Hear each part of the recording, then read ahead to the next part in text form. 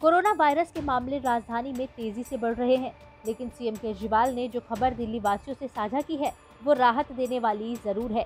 मुख्यमंत्री अरविंद केजरीवाल का कहना है कि कोरोना के मामलों में दिल्ली एक लाख के आंकड़े को पार कर चुकी है, लेकिन घबराने की ज़रूरत नहीं है क्योंकि लगभग बहत्तर हज़ार लोग कोरोना से ठीक हो चुके हैं। पिछले हफ़्ते कोरोना की स्थिति में और अधिक सुधार हुआ है। दिल्ली में प्लाज्मा बैंक भी शुरू हो गया है और लोगों से ज़्यादा से ज़्यादा संख्या में आगे आकर प्लाज्मा डोनेट करने की अपील भी सरकार द्वारा की जा रही है। घर पर ही लोगों का इलाज होने के साथ ही मृत्यु दर में भी कमी आई है।